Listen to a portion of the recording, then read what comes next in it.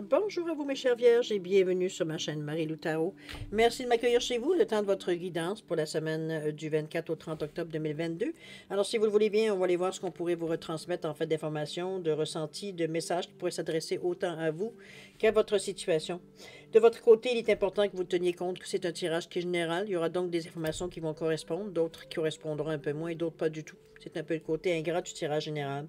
Comme vous le savez, on va vous suggérer d'aller voir votre signe ascendant, votre signe euh, lunaire. Ça pourrait à ce moment-là aller chercher ou correspondre un peu plus à votre situation en vous donnant des informations complémentaires, supplémentaires ou tout à fait un autre point de vue tout simplement sur votre situation.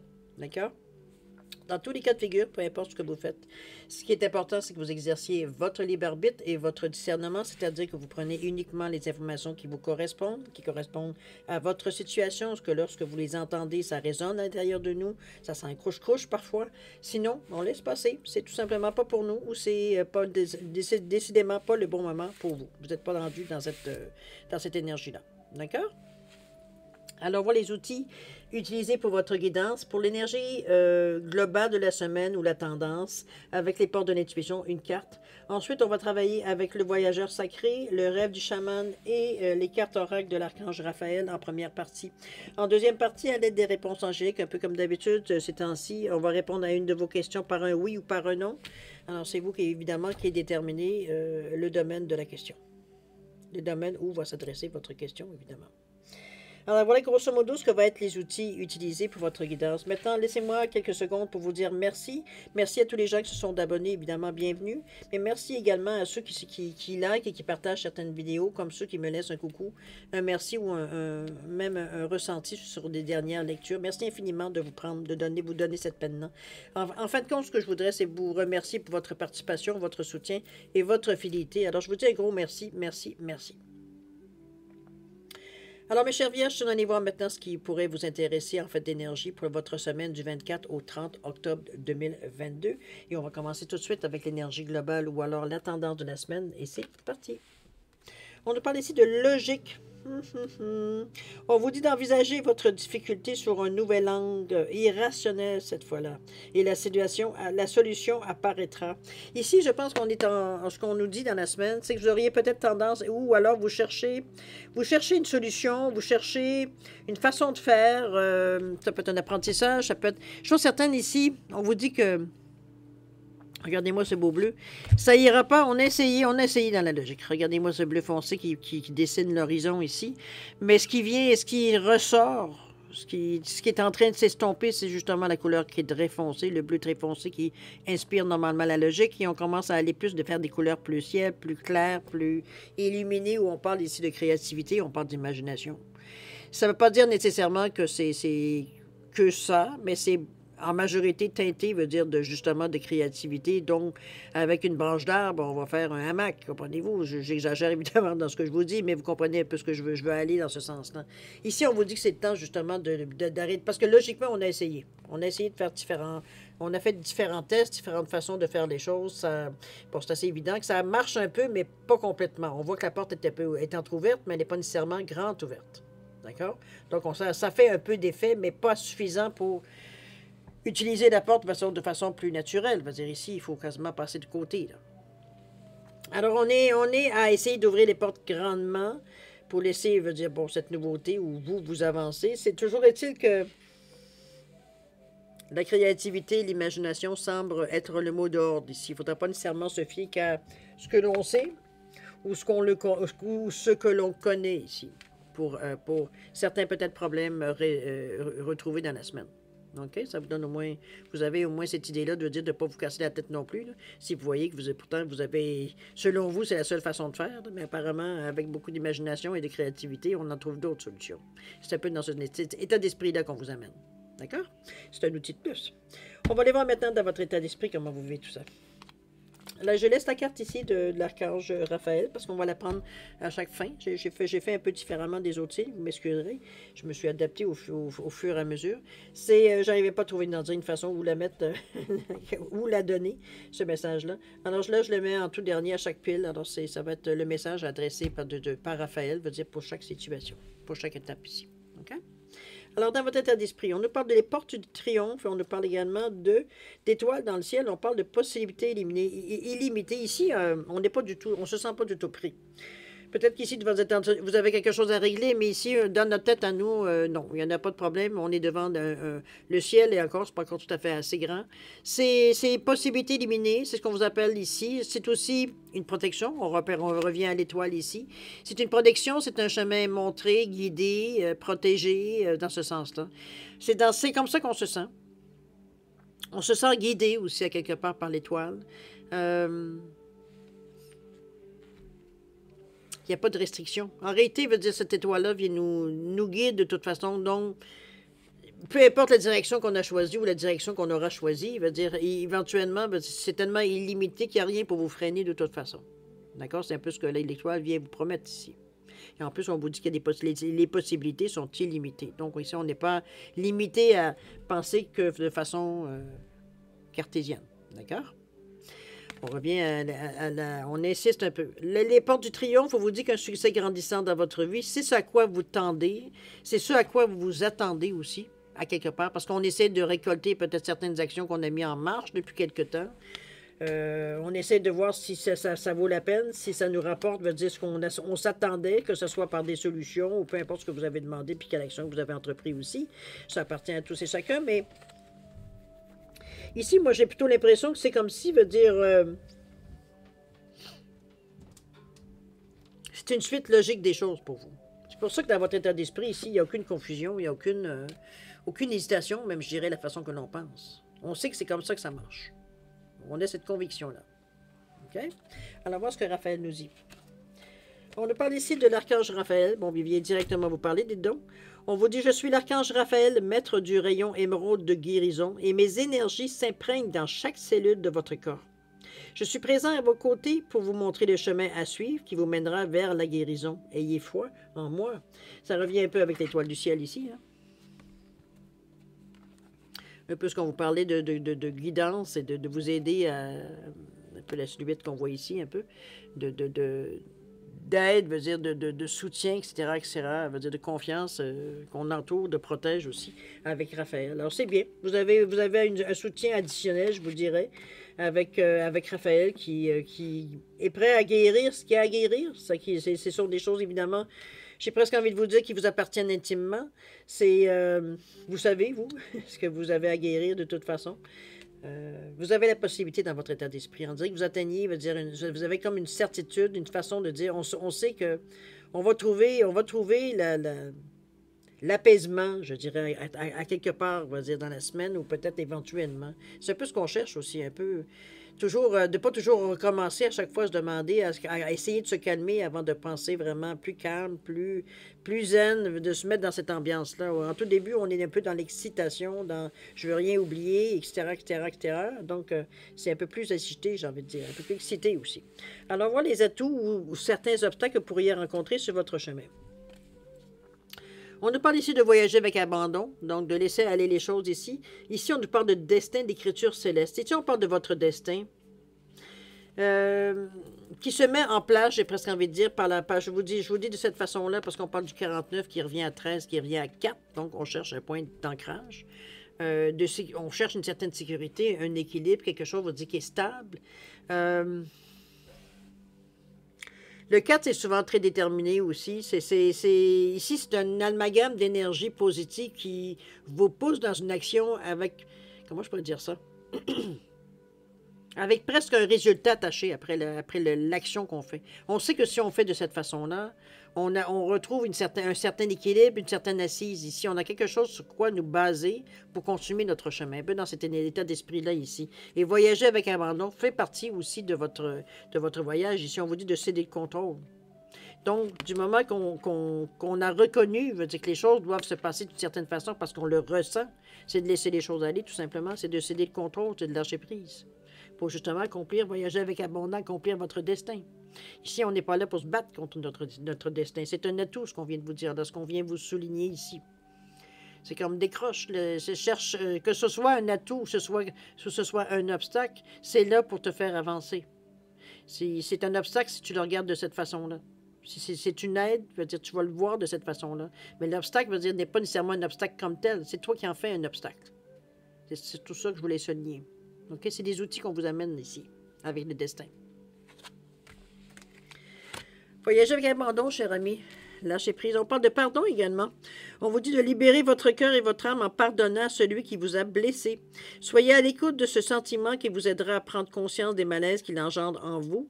Vous atteindrez plus rapidement la voie de la guérison lorsque vous aurez choisi de pardonner. Évidemment, c'est sûr qu'il faut le pardonner maintenant pour vous donner un certain avenir. C'est un petit peu dans un, futur, du moins. Il y a le pardon ici. C'est sûr que ce n'est pas nécessairement à tout le monde que ça va s'adresser.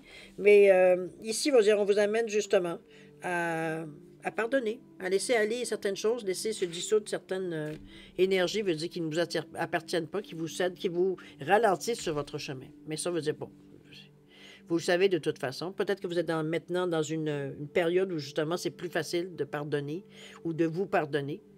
C'est aussi, aussi ça. C'est assez, vous êtes, vous êtes dans un moment de maturité qui fait que ça passe mieux. Alors profitez de l'occasion. OK? On continue maintenant avec l'évolution, c'est-à-dire la façon qu'on se dirige, la façon que. Qu'est-ce qui va nous influencer, je dirais, dans le début d'action, qu'on pourrait faire dans la, même dans la routine de la semaine. Oups, je ne vais pas prendre celle-là. Qu'est-ce qu'on nous parle ici? Ici, on nous parle d'impasse et on nous parle de configuration du territoire. On parle de leçons du passé. OK. Ici, on est un peu. Euh, dans l'évolution, suite peut-être à ce qu'on le, le, le, ressenti, ou du moins ce qu'on a compris, ou du moins ce qu'on a été chercher dans l'information, que ce soit dans les obstacles, que ce soit dans la façon que l'on pense, mélangé avec ce que l'on rencontre sur notre chemin. Ici, on parle d'impasse. Ici, c'est comme si on est, on est à reconsidérer certaines choses. Moi, j'ai l'impression. J'ai l'impression qu'on partait avec un certain point de vue, mais on se rend compte que dans l'action, c'est pas tout à fait adapté. Ici, on sent qu'on n'est pas du tout, on n'a pas tout à fait peut-être, ne serait-ce que pas, pris les bons outils. On est un peu dans cette énergie-là. On vous l'a dit, les créativités, on avait besoin d'aller chercher. OK?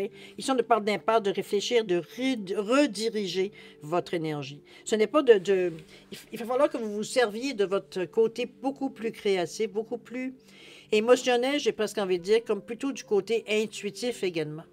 Ici, il ne faudra pas prendre ce qu'on prend d'habitude, les mêmes outils qu'on se prend d'habitude pour prendre des décisions, du moins pour avancer ou du moins se faire une idée sur les choses. Il va falloir voir les choses d'un autre œil. C'est plus avec le ressenti qu'avec exactement veut dire ce que notre cerveau nous dit, tout simplement. C'est un peu dans ce sens-là qu'on vous amène, à revoir la façon qu'on fait les choses, euh, comment on va reconfigurer un peu. Ça nous, annonce ici qu'on a peut-être vu trop grand ou pas assez grand. C'est un peu dans ce sens-là. La on parle de leçons du passé.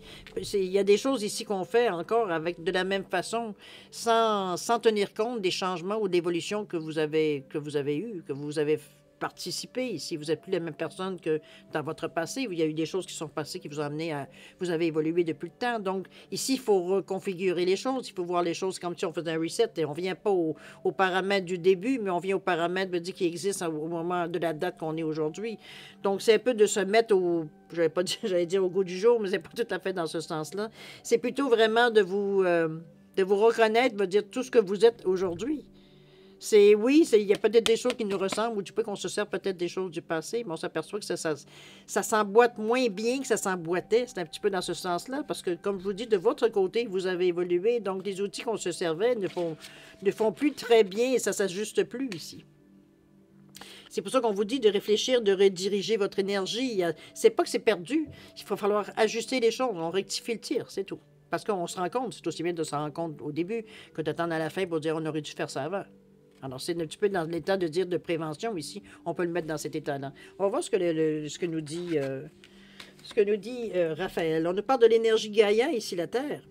On vous dit que la vraie guérison commence aujourd'hui, que chaque cellule de votre corps doit être préparée aux nouvelles énergies qui entrent en action sur la Terre. Accueillez l'énergie Gaïa, la puissance de l'amour du Tout-Puissant se manifeste dans toutes les parcelles de votre âme. Euh, c'est peut-être ça, parce qu'on parle de nouvelle énergie. Ici, c'est un petit peu dans la même énergie, j'ai envie de vous dire, dans le sens que euh, c'est justement ce qu'ici, on se servait de choses ou d'énergie qui étaient passées date, j'ai presque envie de dire, ou plus du tout c'est pas du tout adéquate à ce que vous êtes aujourd'hui.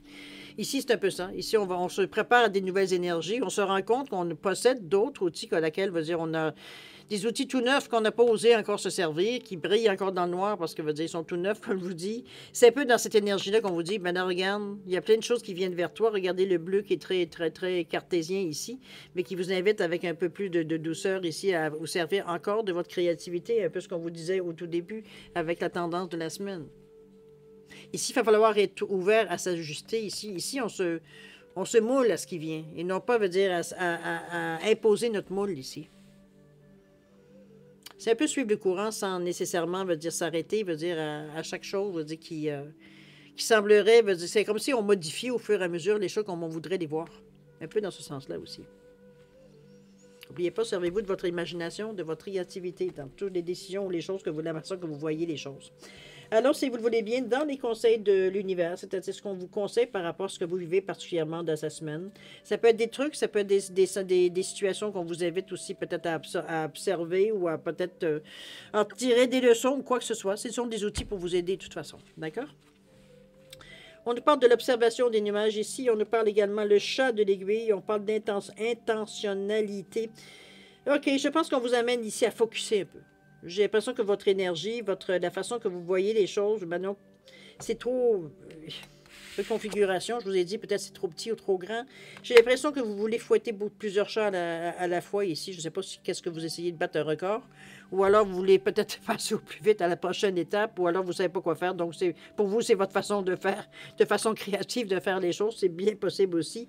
Mais ici, on regarde comment on vous, on vous, on vous, on vous garde regarde, là, tu, regardes trop généralement, tu, n'es pas assez dans le détail. C'est un peu ce qu'on vous amène avec le chat, où on vous faire regarder à travers le chat de l'aiguille ici.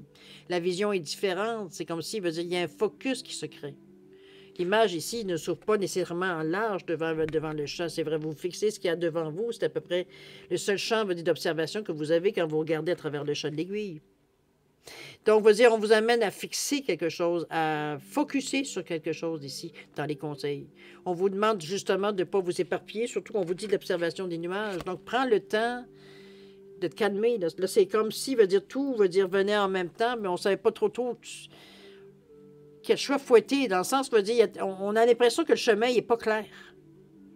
Parce que oui, la vie continue, il y a des opportunités, on a des décisions à prendre, on a des choses à reconsidérer, etc., etc. En plus, qu'on nous dit de pas trop nous servir de notre côté plus cartésien, mais côté beaucoup plus créatif, donc d'imaginer des choses, de, de, faire des choses différemment. Euh, ça commence à être beaucoup, là. C'est cette impression-là qu'on a, en plus de nous dire, ben fais un petit peu attention comment tu fais les choses aussi. Je pense que c'est là, je veux dire, que le, le, le le brouhaha s'installe un peu, l'ambivalence. J'irais, euh, oui, ça pourrait pour certaines l'ambivalence, ça pourrait passer pour ça.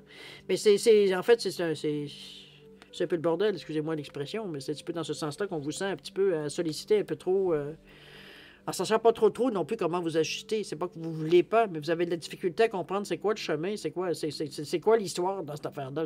On n'arrive pas à trouver euh, un sens à ce qu'on vit ici. OK? On vous demande de focuser. L'observation des nuages dans les conseils également, c'est que, imaginez-vous, vous l'avez sûrement fait jeune, ou ben peut-être même pas si jeune que ça, c'est pas important. Toujours est-il que c'est de s'installer, veut dire tout simplement euh, dehors de regarder les nuages qui passent. Évidemment, il faut avoir des nuages dans le ciel pour ça. Mais c'est s'étendre sur le, gazon, sur une chaise, peu importe, et de regarder le ciel et d'imaginer certaines, certaines... Qu'est-ce qu'on voit? Qu'est-ce que pour nous le, la forme du nuage représente? C'est une façon de se détendre, c'est une façon de se libérer un peu l'esprit. Euh, de laisser redescendre un peu, je dirais, la cendre, un petit peu les, émotions, un petit peu les, les, les, qu'on a peut-être... Euh, en prenant un peu panique, parce que, comme je vous dis, j'avais l'impression, je vous sentais ici un peu. Euh, euh, oui, c'est bien beau, mais euh, par où je commence? Je ne sais même pas où est-ce que je m'en vais, je ne sais même pas ce que je dois faire. Je vois même... Il y a un peu de brouhaha dans cette partie-là ici. D'accord? C'est comme si on n'était pas nécessairement fixé. Remarquez qu'on est en reconfiguration, donc c'est bien possible de dire que je dirais, rien n'était plus ou moins défini dans l'action ici. C'est bien possible. Justement, on essaye de définir les choses. Ça peut être une possibilité aussi également. C'est pour ça, le premier moment de panique qu'on sentait, c'était comme, qu'est-ce que je vais faire dans ça? Qu'est-ce que je fais avec ça? Le conseil, prenez ce cours. focuser sur quelque chose en particulier. N'essayez pas de régler toute la situation, on va dire, en, en deux, trois, deux, trois mouvements. Va dire, ici, on est là pour faire les choses euh, comme elles doivent être faites. N'oubliez pas que vous êtes dans un côté de destin, donc on fait les choses sérieusement ici. Euh, c'est ça le but de nous amener, à, dire, à une certaine réussite, à une certaine... Euh, réussite, mais une certaine, comment je peux dire ça, mettre fin, va dire, à, une certain, à une certaine étape ici. OK? Alors, voir le message qu'il vous, dit, qui vous dirait euh, l'archange Raphaël. On nous parle de méditation ici. On vous dit que la méditation vous apportera le calme et délivrera et élèvera pardon, votre conscience pour atteindre la clarté d'esprit et la paix intérieure. C'est en plein ça. Vous prendrez ainsi de meilleures décisions pour votre chemin de vie. Méditez chaque jour avec de la musique douce, des bougies et des cristaux.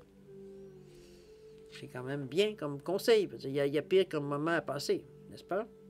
Ici, on a besoin de, de, connecter. C'est un peu ce qu'on essaie de vous amener. Le focus fait que vous vous isolez un peu quelque chose en particulier au lieu de se laisser séduire par plein de façons de choses, de voir ici. L'observation d'une image vous permet de décrocher justement de la situation pour... Parce que peut-être qu'en tout début, vous êtes, je ne sais même pas sur quoi focuser. C'est laisser couler un peu, laisser un peu sortir de, l'émotion, de tout ce qui a pu. Comme je vous dis, d'un certain boa ici, qui s'est passé un peu dans la semaine. Vous savez, on a essayé peut-être, on a peut-être tâtonné un peu par-ci, par-là, mais sans nécessairement être convaincu que ce qu'on ce qu'on pensait être correct était correct finalement. C'est un petit peu ça l'insécurité qu'on vivait aussi. conseil vient vous calmer, vient vous, vous donner les bons conseils, je pense, dans la situation présente. Alors, voir l'évolution ou ce qui sera peut-être le résultat ou une certaine réponse aussi pour vous évidemment. On nous parle ici de l'esprit du fleuve et on nous parle ici de, du sentier étroit. OK.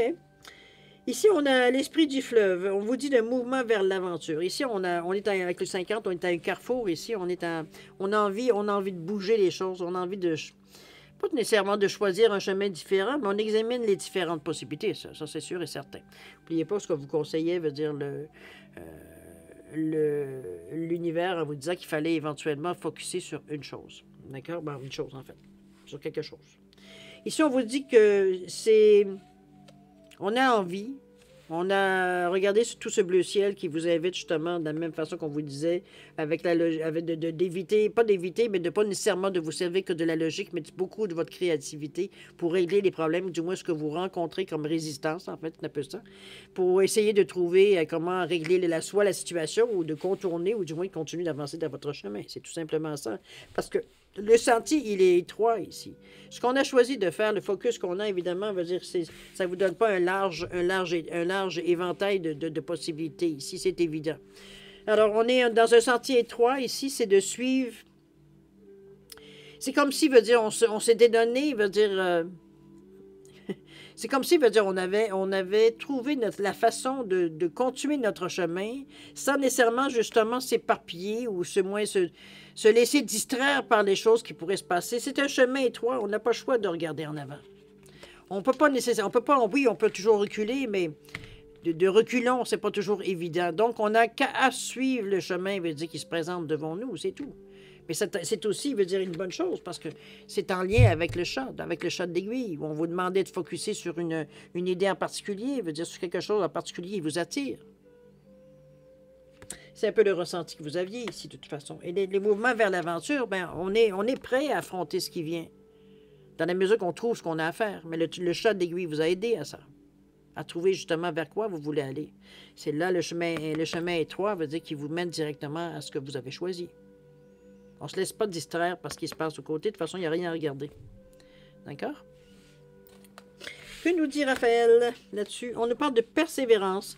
On vous dit que la persévérance est l'objectif à atteindre pour vous en ce moment. Continuez de marcher la tête haute et vous avez presque atteint votre but. Ne vous laissez pas décourager par les obstacles, soyez le maître de votre vie.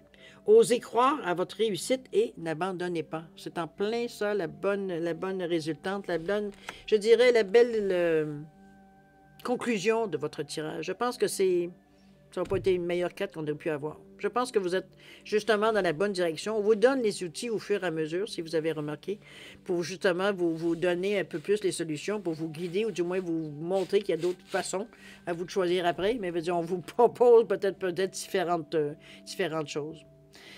Alors, à vous de voir où est-ce que ça vous rejoint, évidemment, mais j'ai l'impression qu'on cherche quelque chose dans notre vie dans le moment présent. On est à la recherche de, réponses. OK? Alors voilà, mes chers euh, vierges, pour la, première, la, semaine du 24 au 30 octobre, c'est un peu, veut dire, le résultat de ce qu'on peut ressentir. Mais je pense que c'est une bonne semaine parce que vous vivez, du, vous vivez du concret ici. Ici, on n'est pas dans le... Euh, oui, le ressenti sera toujours là, mais je veux dire, on n'est pas dans... À, on n'est pas dans l'illusion. On n'est pas dans les... On est beaucoup sur le terre-à-terre ici. On est très ancré dans, dans, dans tout ce que l'on fait ici. Il n'y a pas une place, je dire, on vous amène nécessairement dans des énergies qui sont peut-être plus ésotériques, plus éthériques, j'ai envie de dire. On n'est pas du tout dans cette énergie-là. On est beaucoup dans le concret. C'est comme si, veut dire, on avait amorcé quelque chose et auquel on prend, on a pris très au sérieux, mais au, début de la semaine, on est comme bloqué. Est, c'est, c'est pas qu'on est bloqué, mais on n'est pas à l'aise. La porte n'est pas grande ouverte. Donc, on a, on a une sensation qu'on n'a pas comme terminé un peu ce qu'on avait à faire. Donc, c'est de l'ouvrir, la porte grande. C'est un petit peu le but de l'opération ici. Donc, on a trouvé des façons de, de s'avancer. On a, on a la confiance en nous. C'est même pas ça qui nous dérange. C'est juste que ce qui nous, ce, ce qui nous est proposé, veut dire, ça a toujours besoin d'un peu, d'un peu de ce qu'on vous disait, de vous ajuster aussi par la créativité. On le met selon, on le colore selon nos besoins. J'ai presque envie de vous dire pour imaginer quelque chose. C'est on l'ajuste à notre façon, à nous. C'est un peu dans cette façon-là qu'on vous amène. OK? Alors, si vous voulez bien, on va aller passer maintenant à la deuxième partie, c'est-à-dire de répondre à une question. C'est dans le domaine que vous désirez, c'est vous qui choisissez, évidemment. Je suis certaine, euh, euh, si vous avez besoin de plus de temps pour réfléchir à votre question, vous mettez la vidéo sur pause. Quand vous serez prêt, tout simplement, quand vous serez prêt, tout simplement, vous repartirez la vidéo pour euh, avoir la réponse. D'accord? Je vais juste mélanger quelques, quelques coups parce que j'ai mélangé avant de les remettre là. Pour vous montrer que je mélange bien les cartes. Euh, on va couper et ensuite on va sortir les cartes. Une à une pour sortir le premier oui ou premier non. Dans le jeu, il y a deux oui, deux non. Alors, c'est parti, cher ami. On commence. Ah, c'est un oui, cher ami. C'est pas des noms, hein? Pas de niaisage. oui, cher ami, avec le point d'exclamation en plus. Donc, c'est très affirmatif parce qu'il y a un oui avec un point d'exclamation et un oui sans point d'exclamation. Donc, on réaffirme le oui très affirmatif avec le point d'exclamation ici. OK? Alors voilà, mes chers vierges, c'est ainsi que se termine votre guidance pour la semaine du 24 au 30 octobre 2022. Je vais vous souhaiter évidemment une semaine extraordinaire avec beaucoup d'amour, de santé, de prospérité. Faites attention à vous. Je vous souhaite une bonne semaine et puis nous, on se dit au revoir et à la prochaine. Au revoir.